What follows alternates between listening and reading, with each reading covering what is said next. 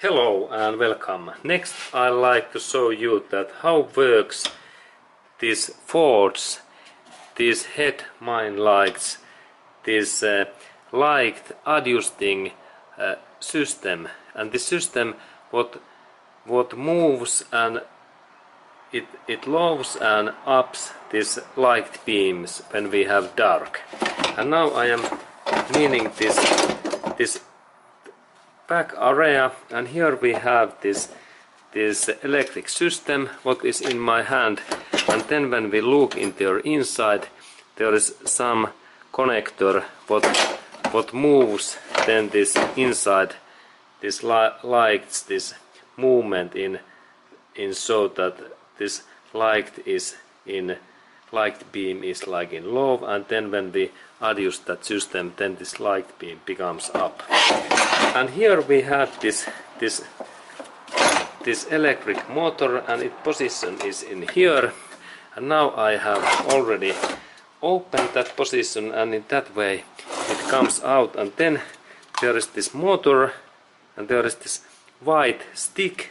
And then when we use our screwdriver in that way we can open that cover and there is sealant and there is small electric motor.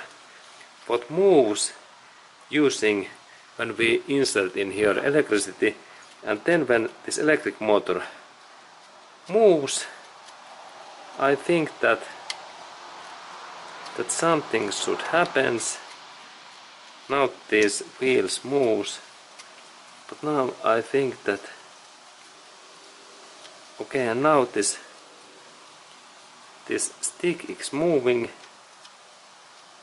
And I think that this white stick moves up and down. And let's look at what happens when I rotate it.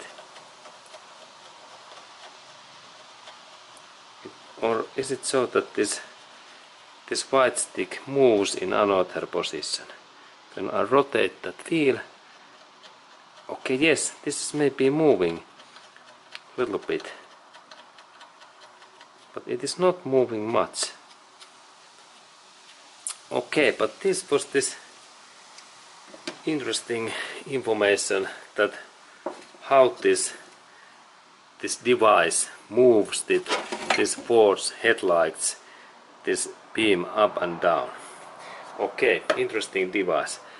Okay and this was this was that kind of Ford information